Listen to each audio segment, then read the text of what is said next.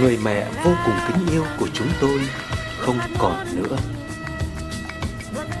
Sau một thời gian lâm bệnh, Mặc dù đã được con cháu hết lòng chăm sóc, Thầy thuốc đã hết lòng cứu chữa. Họ hàng nội ngoại, Bạn bè gần xa Luôn thăm hỏi, động viên. Nhưng vì tuổi cao, bệnh trọng, Chỉ tiếc thay tạo hóa xoay vần, Tử thần nghiệt ngã. Trên đời này ai mà tránh được mệnh trời. Chỉ cứu được bệnh Làm sao cứu nổi mệnh trời? Người mẹ, người bà, người cụ của gia đình chúng tôi đã tạ thế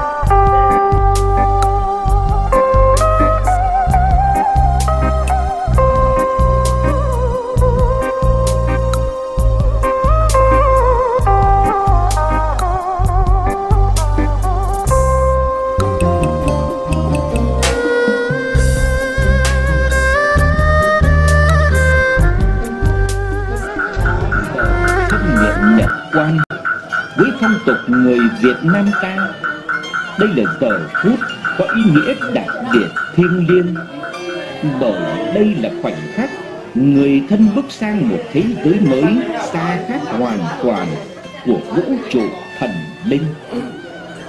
Để rồi một mai, khi cốt người thân sẽ hóa về nơi cát bụi hoang sơ.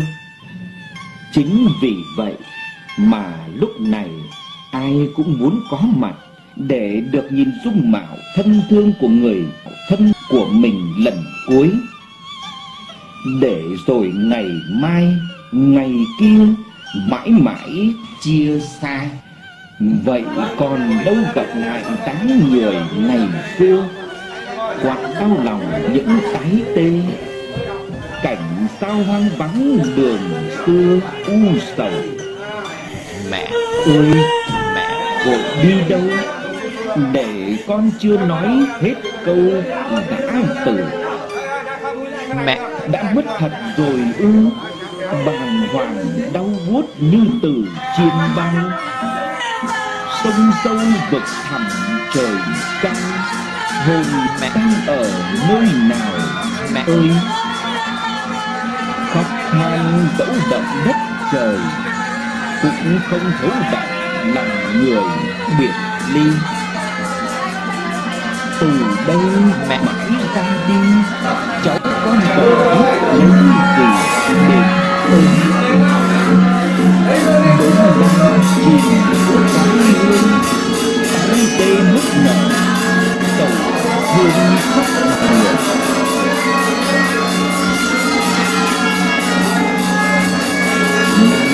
Phật tổ Tây phương Di chứng minh Quan âm thế chí oai linh, Phổ hiền địa tại tận tình chứng chi.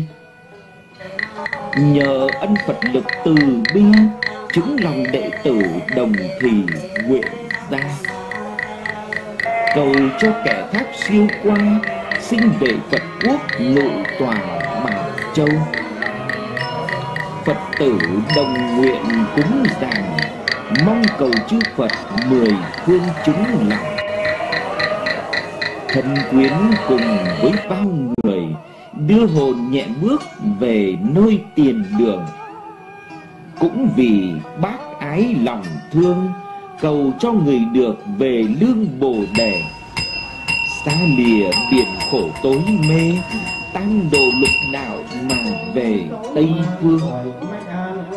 Dứt lìa sinh tử vấn vương, Ở nơi Phật quốc an khương đời đời. Mẹ của chúng con là một người dịu hiền đôn hậu Một chặng đường dài suốt hơn thế kỷ. Mẹ đã để lại cho con cháu Những niềm tự hào cao như chính núi Thái Sơn Và rộng dài như chính nước nguồn vậy. Từ lúc sinh thời cho đến tuổi cao Mẹ sống giản dị, chân tình Chăm lo công việc, gia đình. Mẹ biết quan tâm đến mọi người Nên mẹ được mọi người tin yêu, kính trọng. Những ngày mẹ lâm bệnh Họ đã thay nhau thức trắng đêm Để trông nom chăm sóc cụ.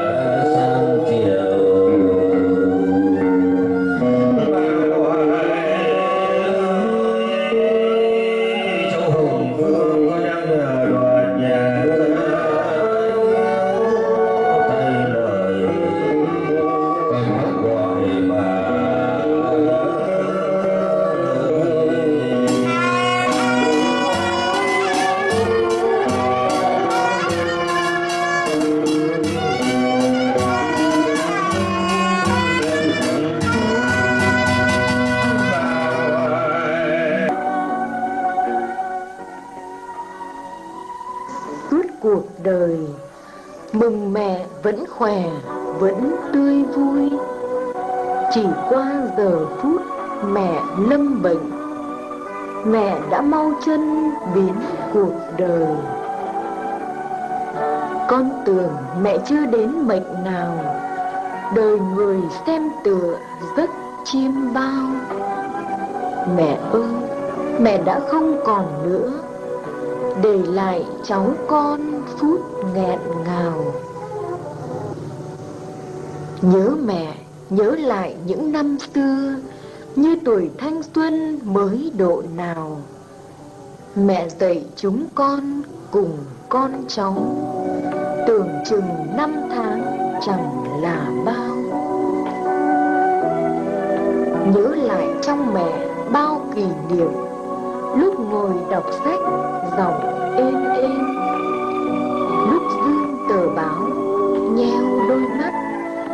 Đợi đời trăng lên, ngồi trước thềm.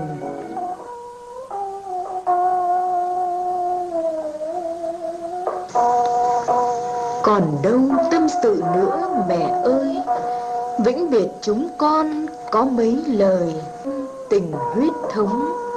Lòng đầy thương nhớ biết bao nhiêu. Từ nay con biết tìm đâu thấy chỉ thấy hương bay nến ảnh thờ. Kể hết sau đây, lời thắm thiết. Chân thành con viết khóc trong thơ. Công cha như núi thái sơn, nghĩa mẹ như nước trong nguồn chảy ra. Mẹ của chúng con là một người dịu hiền và đôn hậu. Một chặng đường dài suốt hơn thế kỷ, mẹ đã để lại cho con cháu những niềm tự hào cao như chính núi thái sơn và rộng dài như chính nước nguồn vậy ôi, thiêng liêng quá, các con về bên mẹ, các cháu về bên bà, bày tỏ lòng kính trọng bằng tấm lòng thương nhớ.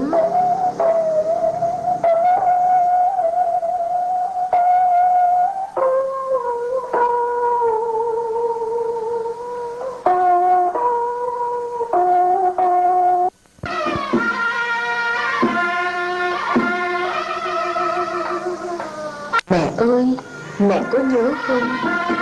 Trong suốt chặng đường dài mẹ đã qua, chất chồng những vui buồn chăn trở. Mẹ vẫn thường nhắc chúng con trong những lời tu chiều hè. Có cơm, có áo hôm nay, đừng quên gian khổ những ngày đã qua. Kính thưa hương linh hồn cổ Kính thưa đại gia đình tang quyến Cụ nhà đây hai năm mươi về theo tiên tổ, Được sự nhã ý của hội đồng gia tộc cùng gia đình tang quyến. Cho làm nhạc hiếu chúng con đến từ miền quê hương quan họ về đây. Suốt từ hôm qua cho đến hôm nay, Đoàn nhạc hiếu kết hợp cùng với gia đình tang quyến Được đón tiếp từng đoàn khách nghĩa tình khắp mọi miền quê hương. Thành tâm dâng lãnh tâm nhang về phòng tang lễ, để kính viếng hương linh hồn cổ và chia buồn cùng tang quyến. Giờ đây chỉ còn ít phút đồng hồ nữa thôi là tăng tang lễ cùng khối cộng đồng dân cư quê nhà. Để từ về đây làm lễ chuyên điều tiến đưa cụ về nơi an nghỉ cuối cùng. Giờ đây đoàn nhạc thiếu chúng con xin phép các cụ bề trên, được rước bước chân dung của cụ. Để thay tiếng đỡ lời, cụ căn dặn anh chị em con cháu trước núi cổ tinh xa cổ chào bà con cô bác dân làng. Trong giờ phút thiêng liêng nhất đối với đại gia đình nhà ta, ban lễ tang chúng tôi trân trọng kính mời anh chị em con cháu của cụ ta vái cổ hai vái hai vái của đại gia đình xin được bắt đầu.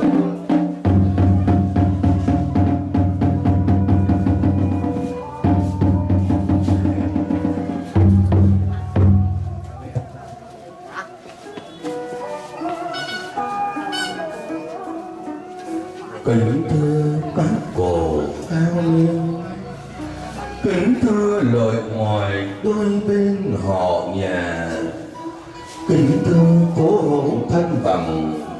Cùng bà con cô bác quê nhà mến thương. Giờ đây lội ngoài họ đương. Chuẩn bị tiến biệt tôi nên đường đi xa xin phép bà con cô bác quê nhà. Để cho tôi ngắm lại tôi ơi tài sản cửa nhà mà cả cuộc đời tôi đã từng vất vả. Đến hôm nay các con, các cháu tôi mới có cơ ngơi đổi mới. Để cho tôi ngắm lại những vườn cây cam cây chuối, đôi tay gầy hàng năm vun sới sớm hôm. Nay ra đi để con người ta sống trong một làng, khác nào như chim cùng một tổ nốt vui buồn, sớm lửa tắt đèn có nhau. Cuộc đời thấm thoát chẳng được bao lâu thế mà nay tôi đã phải xa nhau mãi mãi. Thôi ra đi, không có ngày trở lại. Kể từ nay trên đất công luật một ngày, mãi mãi vắng bóng tôi. Hỡi các cụ các ông, các bà cùng anh chị em con cháu lội ngoại họ hàng. Hôm nay đến với tôi là gửi cho tôi những tấm lòng quan nhớ tất cả mọi người. Nhớ những công trình mà đời tôi cùng bà con xây dựng, từ thuở còn nghèo làn và lạc hậu, đến hôm nay đã đổi mới từng giờ đời đó ấm tôi không còn nữa. Nên tôi ra đi về chầu theo tiên tổ có thiếu sót gì? Mong bà con cô bác hãy bỏ qua cho tôi. Sáng nay đưa tiễn tôi rồi, xe lăn banh mời các cụ ông các bà trở lại gia đình tang quyên. Sơn nước nước miếng trầu để cho hồn tôi được mát mẻ thành thơ sáng nay tiếng việt tôi xong. Mồ yên mà đẹp, mời các cổ công các bà trở lại tan quyên xây nâng cốc đạm bạc, để gia đình tan quyến nói lời cảm ơn. Riêng với các con, mẹ cũng dặn đôi lời. Các con phải có câu hỏi lời chào và con vì nghĩa, vì tình, vì cha mẹ đã đến gia đình viếng thăm. Sầu vàng cùng với cao xanh nâng cơm hiếu nghĩa chân tình thiết tha. Trong công việc cũng đừng nên lãng phí xa hoa, cũng đừng để sơ suất gần xa họ chê cười. Công việc của mẹ xong xuôi đẹp đẽ anh chị em, con cháu phải ngồi san sẻ cùng nhau. Phải biết thương quý nhau như dây bí dây bầu. Rất lành đùm bọc lấy nhau các con nghe. Dẫu biết rằng âm được ngủ yên ngon giấc. Còn một điều lầy mẹ chưa bị nói. Mẹ đi yên phận mẹ rồi. Các con các cháu ở lại trên trần sống sao có tình, có nghĩa. Nhân sinh ra ở cõi trần, người sau người trước đồng lần giúp nhau. Trải qua một cuộc về dâu, cuộc đời như thể có chiếc cầu đưa thôi và giờ đây đôi ngả đôi nơi Dạ, ra đi tôi có mấy lời thiết tha. Đối với bà con cô bác quê ta, tôi cũng cầu mong cho tất cả trẻ già quê mình được an khang. Để mỗi khi hồn tôi có phản phất về làng, thấy quê ta ngày càng đổi mới. Nhìn đồng hồ giờ đón dân sắp tới, phút ninh thiên tôi vĩnh biệt cúi đầu trong lễ tang có hớt nước miếng trầu? Tôi thay con cháu gửi câu chân thành. Suối vàng tôi sẽ anh ninh, đổ cho tất cả trẻ già công lận một mình an thanh và giờ đây trong giây phút sầu tang nhìn anh chị em con cháu hai hàng lệ chan bởi chân tình nghĩa vô vàn ra đi cho tôi gửi trăm ngàn lần thiết tha. Trước giờ vĩnh biệt đi xa. Chào tất cả bà con cô bác quê nhà. Chào lượt ngoại họ mạc gần xa. Tôi ra đi về miền tây trung. Cuộc đời bão táp mưa xa hai sương một nắng mẹ đà thấm sâu. Chúng con xin cảm ơn mẹ. Mẹ đã chịu nhiều cay đắng để có ngày nay. Chúng con được cuộc sống ấm êm, được nhiều hạnh phúc. Mẹ ơi, chúng con đã khôn lớn và càng thấm thía hơn. Vì thế mẹ tóc đã bạc chân đã chậm mẹ ơi, chúng con chẳng quên đâu những ngày đông tháng giá. Một nách cả đàn con, mẹ vất vả tảo tần, góp gom từng hạt gạo ngọn sau để nuôi con khôn lớn. Cảm ơn mẹ mẹ đã cho chúng con thực sự thành người. Lòng mẹ bao la như biển thái bình dạt dào tình mẹ tha thiết như dòng suối hiền ngọt ngào. Lời mẹ êm mãi như đồng lúa chiều dì dào. Tiếng ru bên thềm trăng ta soi thương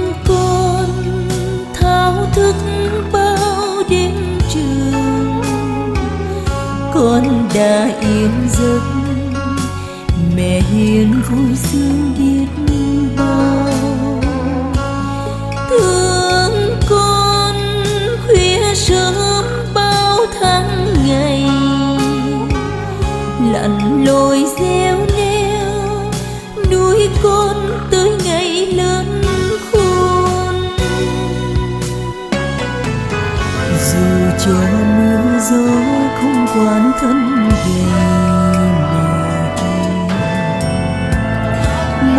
Thương sương hai nắng chúa bạc mái đầu buồn phiền thương con mẹ hát câu êm đềm du lòng thơ âu Cụ Đỗ Thị Thi, sinh năm 1938, sinh chủ quán, thôn cùng lần 1, thị trấn Văn Giang, Văn Giang, Hưng Yên. Trong thời gian lâm bệnh, cũng đã được con, cháu trong gia đình hết lòng chăm lo cứu chữa. Nhưng vì tuổi cao, sức yếu, cụ đã chút hơi thở cuối cùng từ giá coi trần, vĩnh biệt các con, các cháu vào hồi 14 giờ 33 phút ngày 15 tháng 2 năm 2022 tức ngày 15 tháng 1 nhâm dần. Cụ hưởng thọ 85 tuổi. Cụ mất đi là một sự mất mát lớn đối với gia đình, họ mạc, nội, ngoại. Bạn bè ở cố hữu gần xa, nàng xóm quê hương từ đây mất đi một công dân tốt, người thật nghĩa tình. Quê hương nghĩa nặng tình sâu. Bây giờ cụ đã mất rồi còn đâu. 85 năm chưa hết nộp trời Ôi thôi mẹ đã xa rời cháu con Ơn sầu nghĩa nặng là đây Chúng con ghi nhớ trong lòng nhớ thương Làm con chữ yếu đi đầu Cống cha nghĩa mẹ khắc sâu trọn đời. Hôm nay, chúng tôi, quân dân chính đảng, cùng các ban ngành đoàn thể trong thôn và nhân dân, tổ chức lễ sĩ quan cụ Đỗ Thị Thi. Về nơi an nghỉ cuối cùng tại đài Bảo tân Hoàng Vũ, con nén hương thơm vòng hoa tươi, đứng trước vong linh cụ và cầu vong linh cụ về nơi siêu thoát. Và cùng chia sẻ nỗi đau buồn, mất mát này với gia đình cùng toàn thể gia quyến tiến cụ về nơi an nghỉ, cuối cùng tại nghĩa trang quê nhà, nhân giấc ngủ ngàn thu. Xin vĩnh biệt cụ. Để tiếp theo chương trình, xin kính mời ông đào khải triệu hội người cao tuổi, nên đọc lời điếu. Xin kính mời ông. Kính thưa hương hồn, cụ đỗ thị thi.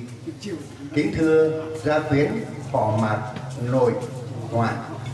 Kính thưa các quý vị có mặt tại đây hôm nay ngày 17 tháng 2 năm 2022 tức ngày 17 tháng 1 năm nhâm dần hội người cao tuổi gia đình thân quyến họ mạc nội ngoại và bà con hàng xóm láng giềng thôn Cộng lần một thị trấn Văn Giang đã phải vĩnh biệt và tiễn đưa một hội viên, một công dân của làng quê đã trở về cõi vĩnh hằng, lã trừ tần thế.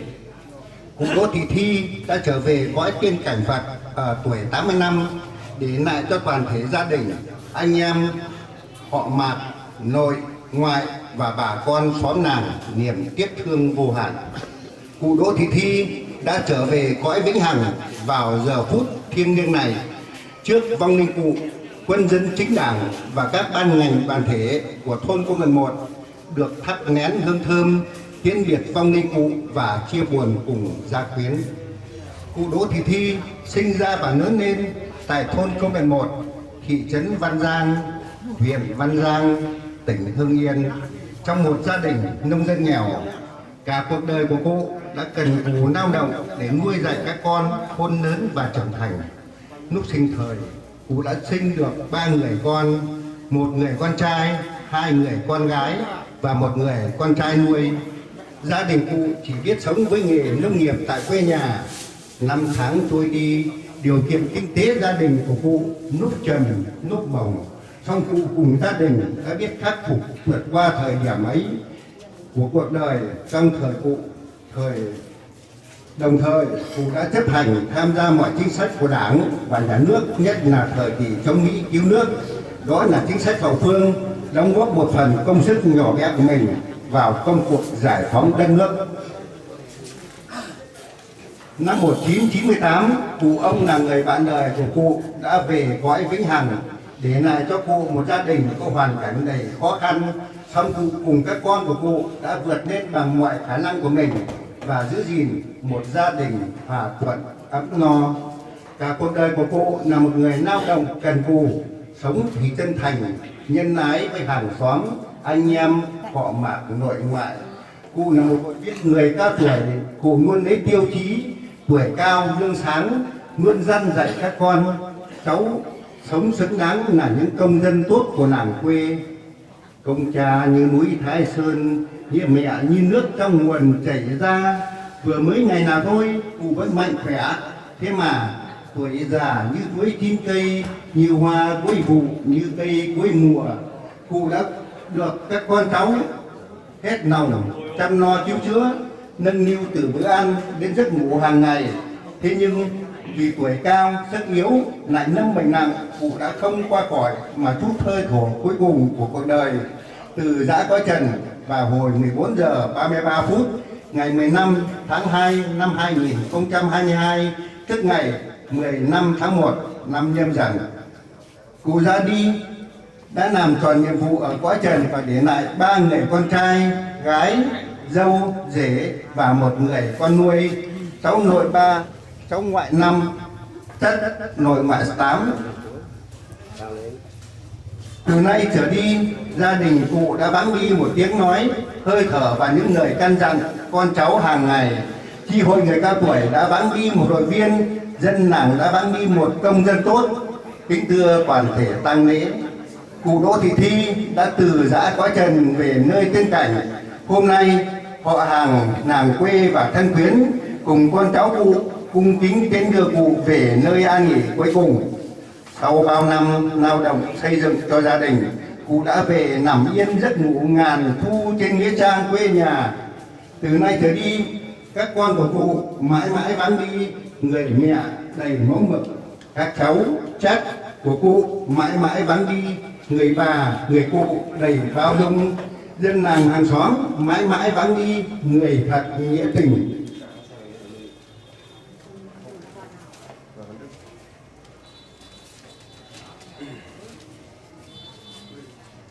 Trước lúc thiên đưa cụ về nơi an nghỉ sau cùng, quân dân chính đảng và các ban ngành đoàn thể của thôn quân một và bà con xóm làng có nén hương thơm, có vòng hoa tươi cùng những tấm lòng thành, đến đây thành tâm kiến viếng vong linh cụ và chia buồn cùng gia quyến.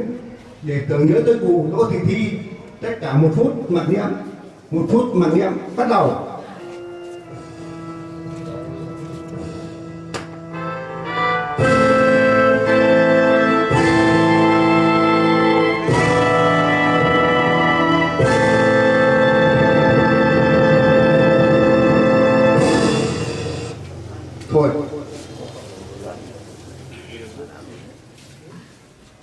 Theo chương trình, xin kính mời một vị đại diện cho gia đình có đôi lời cảm tạ. kính thưa ban lãnh đạo thôn quân đội một kính thưa quân dân kính trọng kính thưa các cụ công các bà các con các cháu nội ngoại bà con hàng xóm kính thưa các đoàn thể các tổ chức cá nhân hôm nay mẹ tôi đã ra đi vào hồi 14 giờ 33 phút ngày 15 và đến còn ít phút nữa thôi là mẹ tôi có thể di quan. Thì thay mặt cho gia đình, tôi gửi lời cảm ơn đến ban lãnh đạo thôn, đến quân dân chính đảng, đến các cụ, công, các bà, nội, ngoại, con cháu, đến toàn thể bà con hàng xóm và các ban các ban ngành đoàn thể, các tổ chức cá nhân. Một lần nữa, tôi không biết nói đến trước giờ xúc động này, tôi một lần nữa xin đa tạ và cảm ơn.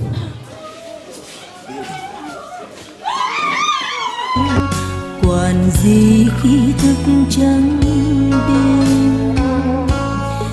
Bao năm nước mắt như suối nguồn, chảy vào tim con, mái tóc chút đã đâm sương dù anh xa vắng trên đường sông chiều về đây dù khi mưa gió tháng ngày trong đời bể dâu. Dù cho phải nắng nhưng lòng thương chẳng lạc màu. mong quay về vui vầy dưới bóng mẹ yêu. Vẫn mong quay về vui vầy dưới bóng mẹ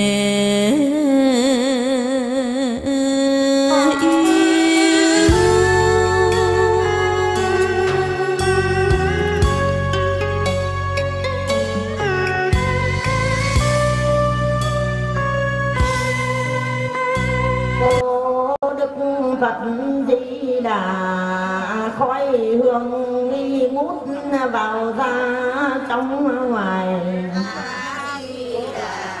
Trong hội này có một người thuyết đầy qua mạn xa lơi hồng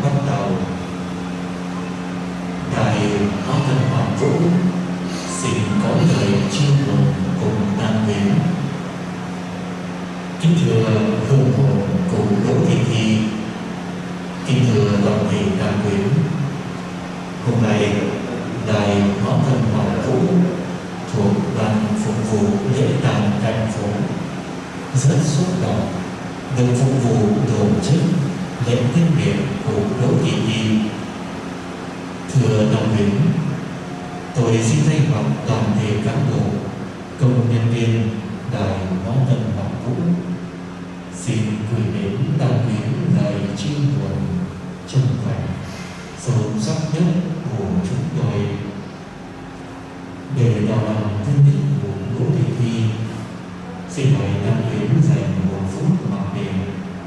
Mm-hmm.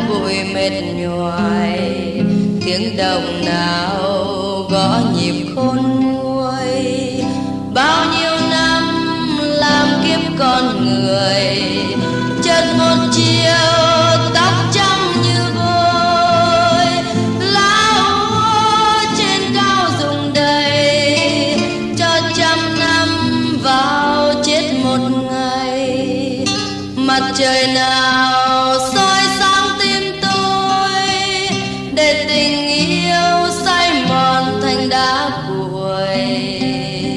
Xin úp mặt bồi hồi từng ngày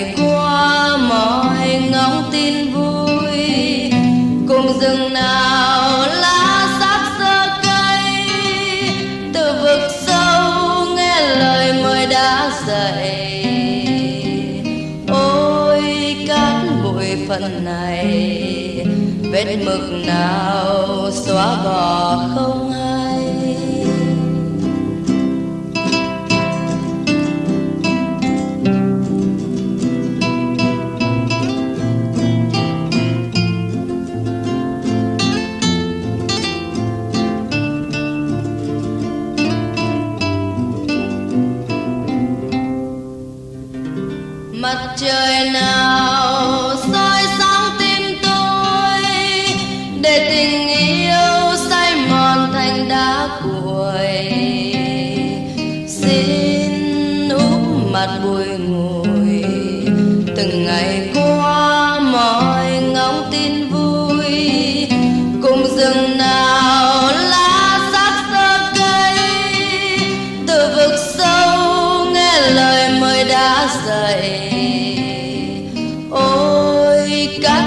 Phần này vết mực nào xóa bỏ